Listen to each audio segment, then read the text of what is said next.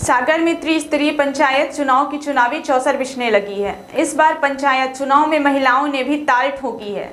ज़िले के हर विकास खंड में महिलाएँ अपनी दावेदारी पेश करने में पुरुषों से पीछे नज़र नहीं आ रही हैं। पंचायत चुनाव के लिए जिला पंचायत सदस्य, जनपद पंचायत सदस्य, सरपंच और पंच के लिए नामांकन फॉर्म जमा करने की प्रक्रिया चल रही है। सागर में शनिवार को पुरुषों के बराबर में महिलाओं ने दावेदारी रखते हुए नामांकन फॉर्म जमा किए हैं। इसमें कुछ लोग वार्ड और सीट के आरक्षण के बाद अपने अपने गणित बिठाने में लगे हैं। तो कुछ ने महिलाओं को आगे करके अपनी दावेदारी पेश की है। शनिवार को सागर ज़िले में अलग अलग पदों के लिए 3,235 दावेदारों ने अपने नामांकन फॉर्म जमा किए हैं जिसमें 1,628 दावेदार महिलाएँ हैं। इसमें सबसे ज़्यादा गाँव का प्रधान बनने के लिए 831 महिला दावेदार मैदान में उतरी हैं। उन्होंने नामांकन जमा कर अपनी दावेदारी पेश कर दी है।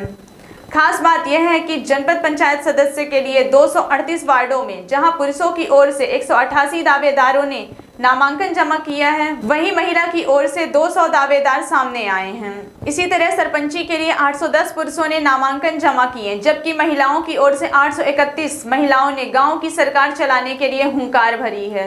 कुल मिलाकर इस बार पंचायत चुनाव में महिलाओं का दबदबा रहने वाला है। वे पुरुष दावेदारों को कांटे की टक्कर देंगी। पंचायत चुनाव में ज़िले की लगभग सभी पंचायतों में महिला दावेदार सामने आ रही हैं। जिला पंचायत सदस्य से लेकर जनपद और पंच के लिए दावेदारी करने में महिलाएँ पीछे नहीं हैं। शनिवार को सागर ज़िले के राहतगढ़ विकास खंड से सबसे ज़्यादा 112 महिलाओं ने सरपंची पद के लिए दावेदारी कर नामांकन जमा किया है।